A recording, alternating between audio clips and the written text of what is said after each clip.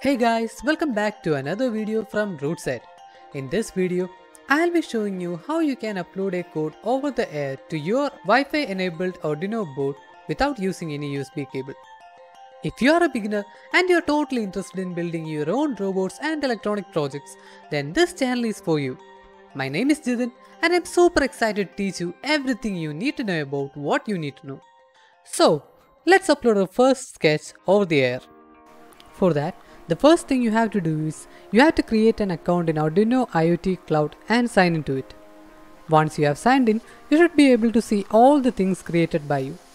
As you can see here, I have created three things before. A thing is like a project. For this video, I'll be creating a new thing. To do that, click on create thing and let's give it a name. Let's name it OTA demo.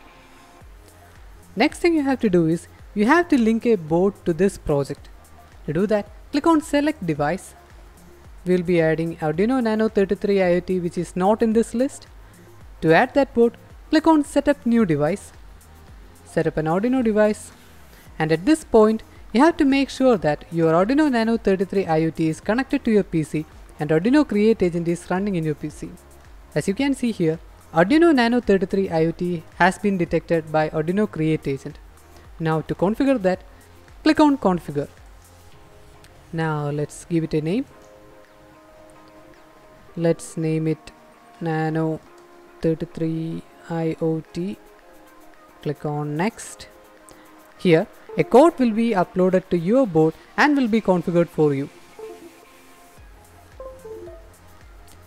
It will take up to 5 minutes but it took only 1 minute for me.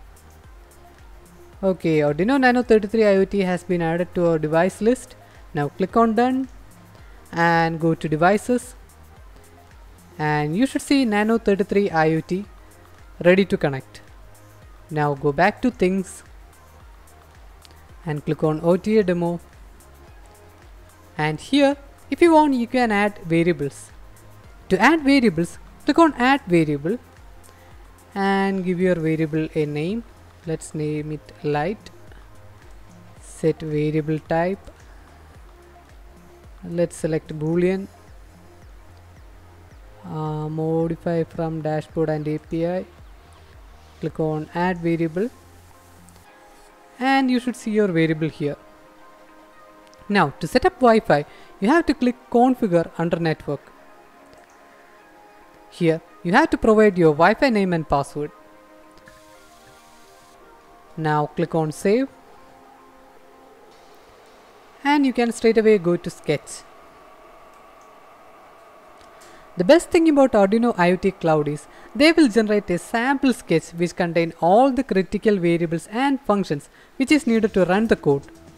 Now all you have to do is add the extra variables and the functions. So this is the skeleton code and if you look here you can see that Arduino Nano 33 IoT is connected to port COM6 of our PC. So guys here is the blink sketch. According to this code the built-in LED will turn on for 1 second and turn off for 1 second and will repeat the code. That means it will blink once every second. Now click on upload. As you can see here we are uploading the code to the board via port COM6. That means we are uploading the code through USB cable.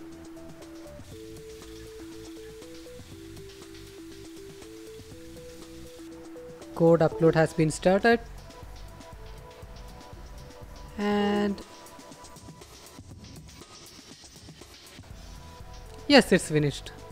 Now if you take a look at the board you can see that the LED is blinking once every second.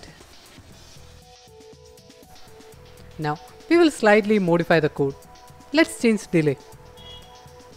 Let's change it to 500 and 200. Now if you take a look at here you can see that one more option is available to upload the code to your board that is over the air option. Now simply click on over the air and click on upload.